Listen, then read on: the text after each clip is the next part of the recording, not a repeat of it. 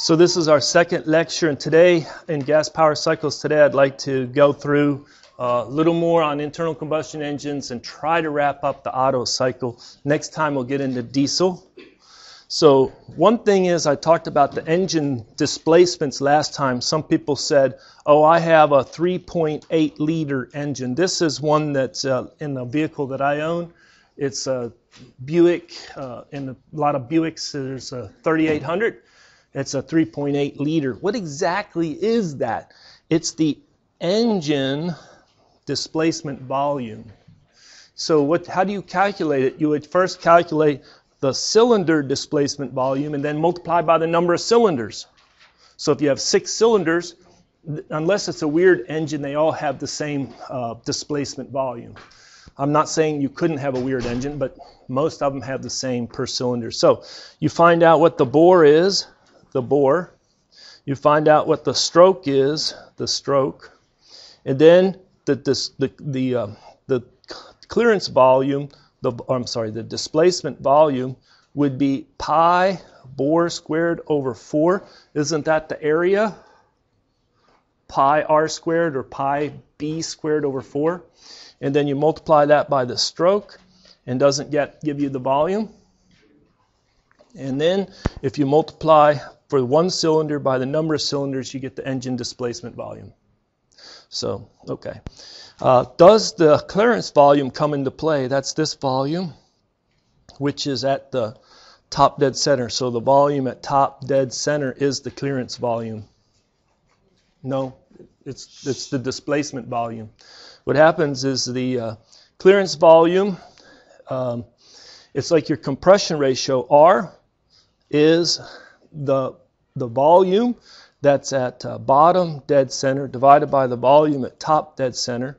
And so the volume at bottom dead center is the uh, displacement plus the clearance divided by the volume clearance. I tried to color code those. So this volume right here is the displacement volume on that one cylinder. And this volume right here is the clearance volume. So all of it let's say uh, you have a 10 to 1 compression ratio engine, uh, you get the 10, whatever it is, cubic centimeters, liter, milliliters, gets squeezed into uh, that final volume. All right. Uh, we're also going to talk about the mean effective pressure. Uh, this is an elusive concept. It's difficult to grasp for a lot of students, but I think this is the best explanation I've come up with. Think of a PV diagram and you put on three PV diagrams atmospheric pressure. And then you trace out the pressure volume curve of an actual uh, gasoline engine. All right.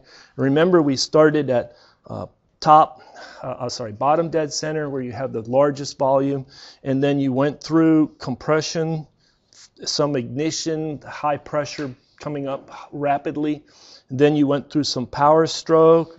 Then you had some blowdown, and then you had some exhaust stroke, and then intake stroke, and that.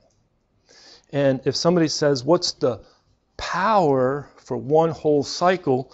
you would t- take and just do the boundary work for each of these strokes. So the area under this curve would be work in in the power stroke. The area under this curve, all the way up in here, would be the work out for the power stroke. And then the difference in those two areas is this hashed area, which is a positive work out. If you want to do the same thing, you find that there's a work in during the exhaust stroke, it's small, but it's still work in. And there's also a negative work. So anyway, there's this whole area right here is is a uh, it's not expanding at high pressure. It's actually expanding at lower pressure than which it is.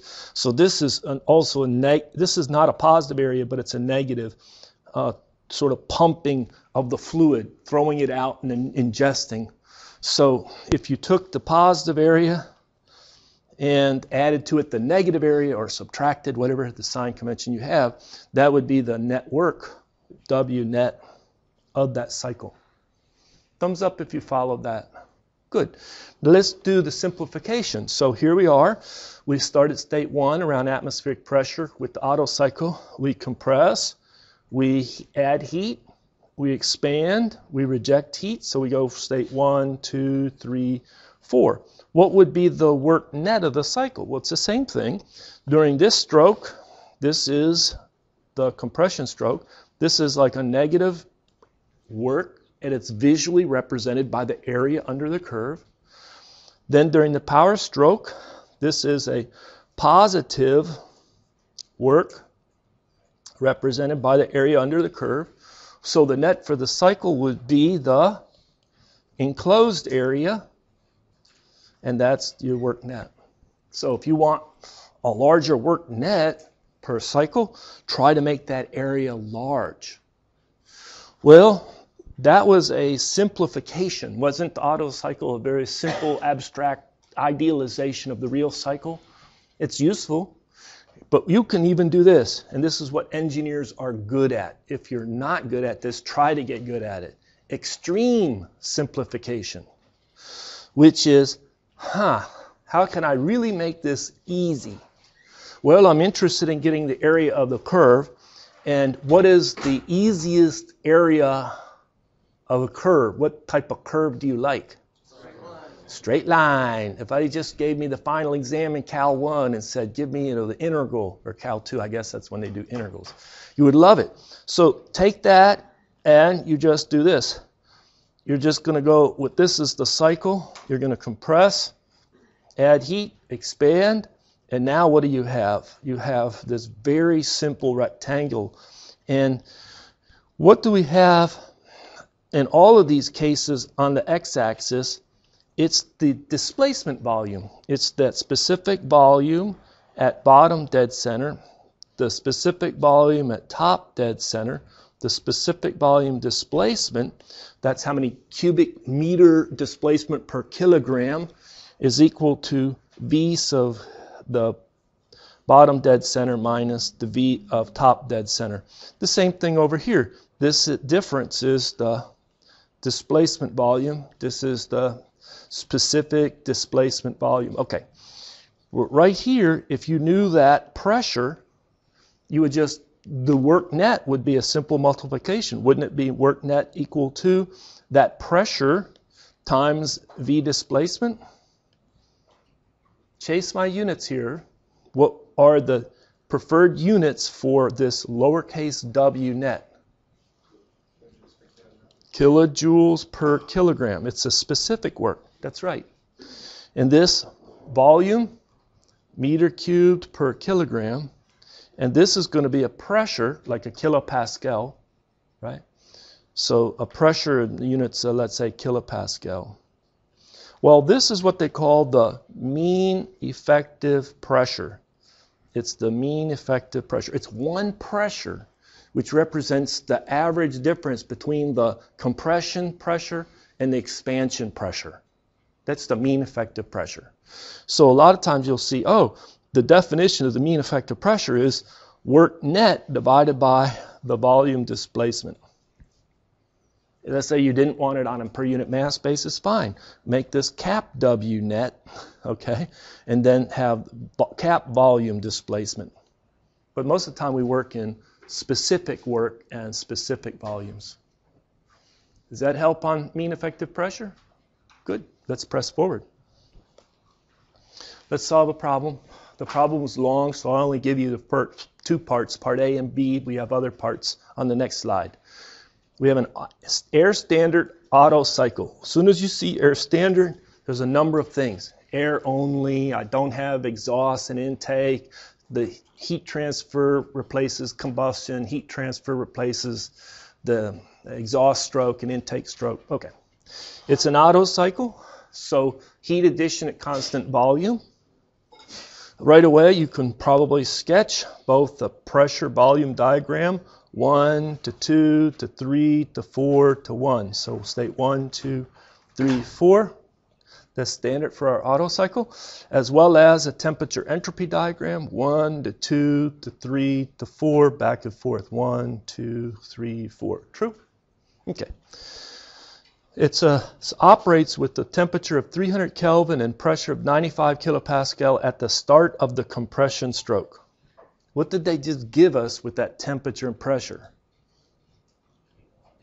They gave us this. This is T1 and this is P1. State 1 is the beginning of the compression stroke. This is the compression stroke from 1 to 2. Okay. The compression ratio is given to be 10.5. The symbol used for compression ratio is R, and it's the specific volume initial state 1 minus or divided by the specific volume final.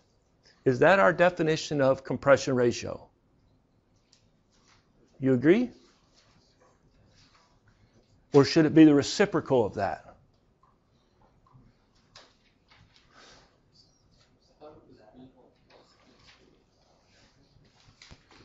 Well, in interest of time, I'm encouraging you to, you know, engage when I talk through lectures because I do have a lot of errors in my lectures, and I think this is right. Do you agree? I'm not getting enough thumbs up. That means you're not following me. Are you following me? Do you agree? All right. Now you have the maximum temperature of the cycle is 1800 Kelvin. Because of the temperature entropy diagram, I know what state has the maximum temperature. Is it state 1, 2, or 4? State 3. So they gave us T3. That's right there, T3. Consider constant specific heats evaluated at 300 Kelvin. That's a very loaded statement right there. They're telling you how to analyze this cycle. How are you going to analyze it? Using constant specific heats for air. And just go get it. It's a cold air standard analysis. That's what we're doing. Go get it at 300 Kelvin. All right. Then they ask you to determine the temperature at the end of the compression stroke. What state is at the end of the compression stroke?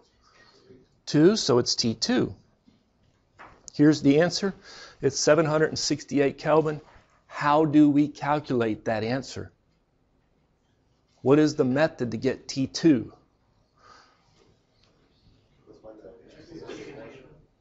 Well, we know that during the compression from 1 to 2, what is constant? S is constant. It's isentropic compression. How did we get isentropic compression? It's adiabatic, no heat transfer, and it's internally reversible. Put them together in the second law, it's isentropic. It's air undergoing isentropic compression, and you have constant specific heats. It jogs your memory. You think back to Thermo 1, you think back to all that entropy um, chapter. And you can recall equations like this. These are very loaded equations. If you misuse them, you know, you don't get a lot of, you know, benefit. It's for S1 equal to S2, isentropic, for an ideal gas with constant specific heats and I could use either this form, this form, or this form. And we could go back and review the derivation, but maybe not right now. I did it at, earlier at 9 o'clock and it delayed me. I didn't get as far as I wanted to in the lecture by doing that. So uh, this, this is in chapter 6. How many people have already had to go back and review some material in 3, some material in 6? Absolutely. If your hand didn't go up, uh, Maybe next semester you'll get another chance. No, you need to review. You need to review. Come on. Okay? So, uh, the equation that we're going to use if we're interested in T2 at the end of a compression stroke, and we know the compression ratio, this is our equation that we'd like to use. So we go to table A20, and you can pick off for air the C sub P, C sub V, as well as K. What was the definition of this K? Is it just C sub P divided by C sub V? Yeah, that's all it is. And so that's the K that goes right in here, the ratio of specific heats. So now we can come back and you say, okay, so T2 is equal to T1 times the compression ratio raised to the K minus 1 we put in our 10.5, our 1.4, and our initial temperature of 300 Kelvin, and that's how you calculate this temperature. Uh, if uh, somebody said it starts at 25 degrees C, can you put 25 in there for T1? No. no. It has to be an absolute temperature. All right. So let's continue on. What about the peak pressure? Well, where is the peak pressure? What state? Is it P1, P2, P3, P4 that we're asked to solve for? P3. That's exactly right. Some people calculate P2, box it, and say, there's my peak pressure. But no. So how do I calculate the peak pressure? First, you calculate P2, and then you use that to calculate the, the final pressure. So let's take a look. Here is another relationship. Notice if you'll see the pattern, we're going to use these two relationships in the Otto and in the diesel cycle. And we're going to use this relationship a lot in the Brayton cycle. So for right now, when we're doing Otto and diesel, we kind of leave this one alone. But uh, this is the one that we need to use. And so what we find is P2 is equal to P1 times the compression ratio raised to the K power. That gives us P2. How do I get P3? It's always an ideal gas. And so our ideal gas is PV is equal to RT, so that PV divided by T is always equal to R, no matter if it's at state 2 or state 3. And what is the relationship between V2 and V3? They're the same, so they can cancel and that you get that uh, P3 is equal to P2 times T3 divided by T2. Does that look doable? So you get this pressure for the peak pressure. Ready to press forward? What do you think after the, the pattern that we tried to emphasize when you're doing uh, Rankine power, vapor power cycles? Get some diagram temperature entropy. Here we get temperature entropy, pressure, volume for the Otto cycle. Get a table of first what? Props, and then get a table of transfers, the Q's and the W's for the processes 1 to 2, 2 to 3, 3 to 4, 4 to 1, and do the net. That's the same pattern. We're going to do it right here for the Otto and the diesel cycle. So for the properties, we're interested in pressure, temperature. If you want specific volume, you want internal energy, you want some other ones, you can list them. But for this problem, if you're using constant specific heats, the big ones are just pressure and temperature. You really don't even need specific volume internal energies. But you need it at state 1, state 2, state 3, state 4, and you just walk through to populate that property table. Well, here is in Excel. We put the compression ratio, C sub V, C sub P. We put um, K, and again, I didn't fix that error. It's R, not R bar. What is this R right here? R is equal to R bar divided by the molar mass. And for air, 0.287 kilojoules per kilogram Kelvin is R. Okay, so we work through moving from known pressure, temperature, and known temperature, we can populate the rest of those temperatures and pressures. We have our property table, and those two values we already talked about calculating. The next part, C, what is the heat addition for the cycle? This is the answer. It's around 740 uh, kilojoules per kilogram. How do I calculate the heat addition for the cycle? Should I pause? let you solve for it? I got to stop, pause.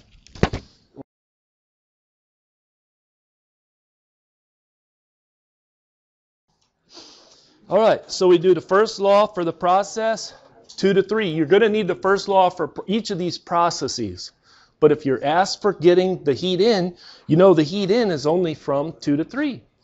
And so it's going to be U3 minus U2 is equal to Q2 to 3, what we're looking for, minus work 2 to 3. That's 0 because there's no expansion, boundary work. And then we replace C sub V T3 minus T2 because we're using constant specific heats and it's an ideal gas. And there you go. Now you had those two temperatures. You had temperature at 3 and you had the temperature at 2 and you had the specific heat, C sub V. You calculate that heat in. How about for part D? What is the net work for the cycle? Well, that's a little bit more work. I can't do it in one equation. Best thing is go ahead and populate that whole table of Q's and W's for the process 1 to 2, 2 to 3, 3 to 4, 4 to 1. half of the table is full of zeros, isn't it? And then when you sum, you'll get W net as well as Q net. And if they are not the same, look for your error. Look for your error. But this is what they were asking for. And that's going to be the sum of a positive expansion work from 3 to 4, the work 3 to 4 is positive, plus the work uh, 1 to 2 is negative. And so those two. All right? You got that? Roughly, what is the equation for work 1 to 2? Can I'm going to pause, walk around. I want you to show me the work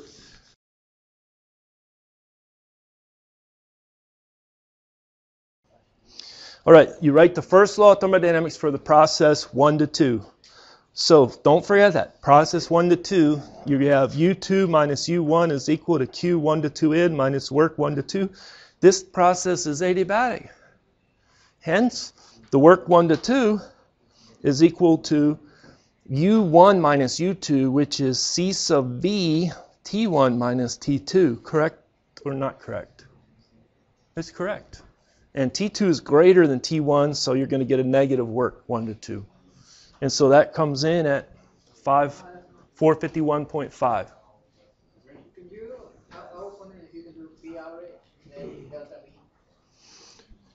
Uh, you want to do it by the integral of PDV?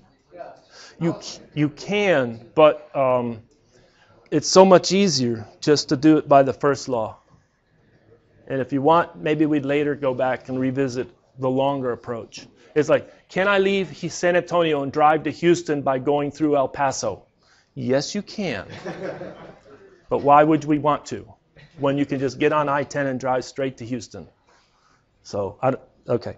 So, basically, you have a table of your states. You have a table of all your processes. Half of the table's full of zeros, which makes it easier. And each one of these is solved for using first law of thermodynamics for each of these four processes. You add it up, you get the Q net, you add it up, the column, you get the work net, and they need to match. They must match or we have an error. The next question, what is the thermal efficiency of this cycle? Well, what is the thermal efficiency defined as? Work net out divided by the Q provided in. So this is the work net out divided by Q 2 to 3. So it's uh, 451.5 kilojoules per kilogram divided by 740.7. Right? We're picking off this value for work net, that for Q in, and there's your answer 61%. The last one, what is the mean effective pressure? The mean effective pressure, work net divided by V displacement. All right, but how do I get that displacement volume? Would that be V1 minus V2? And so if I know the pressure and the temperature, I can get that V1, right? And then the same with V2, you get the difference, you get the displacement volume. Here I show you the displacement volume. I calculated the V's at each of the states and did it uh, by the difference. And then I divide them and you get the, the uh, mean effective pressure 551 kilopascal. All right. We sketched that pressure volume diagram and everybody sketches it like that. True? And it is an illustration. How close is it to the real PV diagram? What do you think? This is this is real data plotted here for our ideal Otto cycle PV diagram. Does it look the same? So what it is is, is surprisingly that the pressure doesn't really increase dramatically until you get near the end of the compression, then it really skyrocketing. That's why if you do have a little change in compression ratio, it really goes up. Can you see that? Yeah. Increasing the compression ratio, meaning it goes to a smaller volume, would really get the pressure a lot higher and the temperature a lot higher at state 2. Now, this is some heat addition for our problem where we said, hey, the temperature goes up to, what did I pick, 1800? I can't remember. Almost 6,000 kilopascal. And then it dramatically drops as you're expanding it. And then right here, you would say, that doesn't look like a significant pressure difference at the end between 4 and 1, but it's enough. Okay? What is the pressure at 4? It's uh, 222, and this is 95. So it's like a uh, little over 200, let's say 220, and around 100. I change the problem. Uh, it replaces the constant specific heat with variable specific heat. How do you solve a problem if it says it's now treated as variable specific heat? Well, to solve this problem, I'm first going to point out you will get different answers. This is constant, this is the new answer. All right? This, this answer for part B is the same exact value, but the value for part C, heat addition, is different and the net work is different and the thermal efficiency is different. So yes, you do get different numbers and they are not in agreement to two significant figures in general. They're, they're, they're pretty different, right? Students always ask me, which one is the better answer? Which one's the more exact answer? Well, first of all, it's the Otto cycle. It's already an abstraction of the real cycle. So getting in the ballpark is pretty good. But if you're saying how ac- which is most accurate for the true Otto cycle, well, it'd be for variable specific heats. Okay? So this would be the more accurate. Which one's more preferred in exams and other things? Well, what you find is when you use variable specific heats, you have to interpolate. Does interpolation take time? On a time limited exam, do you want to spend time interpolating? So often on my exams, I say here are some constant values for specific heats solve it using that because I don't have enough time to allow you to do it with the variable. But there's a lot, half of homework problems or so use require you use variable specific heats. So what information do you need to call back from chapter 6, recall from chapter 6? You have to go and recall how to use this table A22 and especially this part of the table A22 and the funny thing about it, it has a temperature goes down, then the temperature wraps around and continues down. So it's it's like a, uh, this section right here is for air undergoing an isentropic process. And in that, you get some new variables, PR and VR. These do not have a name. There's no name for PR and VR you're saying, I think I've seen PR before, and isn't that the pressure divided by the critical point pressure? That's the reduced pressure. That has a name. That's used in the compressibility chart. That's used to distinguish between an ideal gas and a real gas. That's covered in chapter 3. But this is a cap R subscript. This is a lowercase r subscript. That is not the reduced pressure. Likewise, TR is the reduced temperature, the actual temperature over the critical point temperature. That's a little aside, don't get confused. But how do you use it? Well, they would say when you have air only and you're undergoing an isentropic process, the ratio of these no name piece of R's between state 1 and 2 is the same as the ratio of the actual pressures. How many people solved the problem using this? The rest of the hands are saying, I'm going to go review it.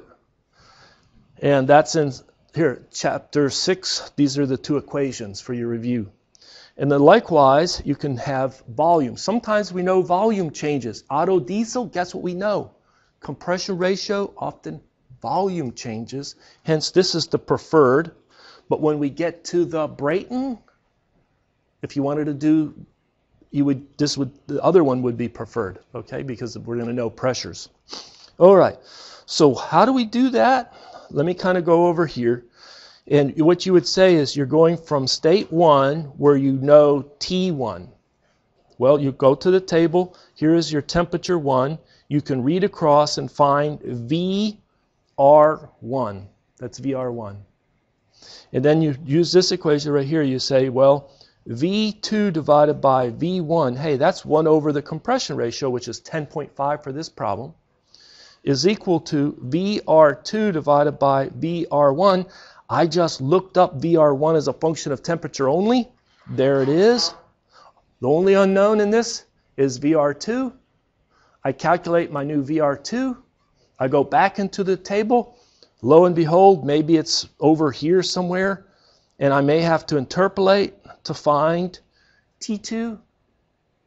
But more importantly, I'm interested in U2. See that? Just like at 300, this is U1, internal energy at state 1. All right? So you spend a lot of time in these tables. You get the V sub R. You divide it by the compression ratio to get a new V sub R. You then look up the new temperature and especially the new internal energy. Now, from state 2 to 3 is not isentropic it's the same process as what you had before. You just are adding heat and you're boosting to a known final temperature. So basically, at this temperature, you go look up V sub R and U. And now you know you're going to go from 3 to 4 isentropic expansion. It's like 1 over the compression ratio. That's the expansion ratio. And so you take that V sub R at 3 multiply by the compression ratio, that's V sub R of 4. Now you look up the temperature at 4 if you wanted to know it, but really you want the U at 4, the internal energy at 4. Then, once you have this different, you, you, know, the big difference is you've looked up these U's. Now it's the same thing to calculate the uh, work transfers and heat transfers for the processes. Here it's going to be the difference between these two U's. This one's the difference between those two u's, right? u3 minus u2. All right. Nothing's really changed in the first law. It's just how you got the change in u's. Instead of using C sub V delta T, you use the table values. And then you can update your calculations of thermal efficiency and the mean effective pressure. You should solve the problem both ways. All right. Well, there's a simple equation for the Otto cycle thermal efficiency. The thermal efficiency of the Otto cycle turns out to be 1 minus 1 over the compression ratio to the K minus 1 power. Okay. This uh, I derived a number of semesters ago. It's derived in the textbook or give it enough information how to do the derivation. I encourage you to take a look at it. But one of the interesting things is, is the thermal efficiency of the Otto cycle as a function of the compression ratio goes up. Well, let me talk quickly about the octane number. How many people have ever seen one of these and purchased gasoline? And then you're left with the dilemma which one do what button do I push? Right? And how many people always just push the cheapest? Yeah, you got like most of us. Well, this really you're paying for octane. It's a resistance to knock. That's what it is, self ignition. So, I encourage you to know a little bit more about this premature combustion. But as the piston gets near the top, if you have a problem with knock before or when the spark plug fires, it'll create a higher pressure range and maybe there's a hot spot where little carbon deposits are and it'll start combustion over there. Or maybe over here it'll start combustion. Now you have pressure pulses coming into it. They knock against each other and it's very audible and damaging to your engines. There's my 60 second on premature combustion and knock. So you combat it by having higher anti-knock or octane rating for your fuel if you buy an expensive car like this they, you look in the manual and they will tell you, oh, you need premium unleaded gasoline. That's why they sell different blends. But most cars on the road don't require premium. This car does, but guess what? If you own it, you can afford it. So this it's a 91 octane minimum. All right? So how many people know they have to put above the 91 oct- or 80 whatever 7? They have to put more, true? And you have to pay for it. It can be an unpleasant experience. Well, there was recently, very recently, a AAA um, report that went out and said that people pet the dashes of their car, they name their cars, they buy themselves special beverages for the weekends, they buy their cars special beverages for the weekend, they fill them up with high octane, thinking they're treating their car better. You may have done that. But guess what? It makes no sense to the engineer who knows what they're buying. So I encourage you to take a look at this article. If you don't need it, don't buy it. There's not a higher energy content, there will not be a higher MPG. If you do need it, you must buy it. All right, with that, I'm done for today. Thank you for your attention.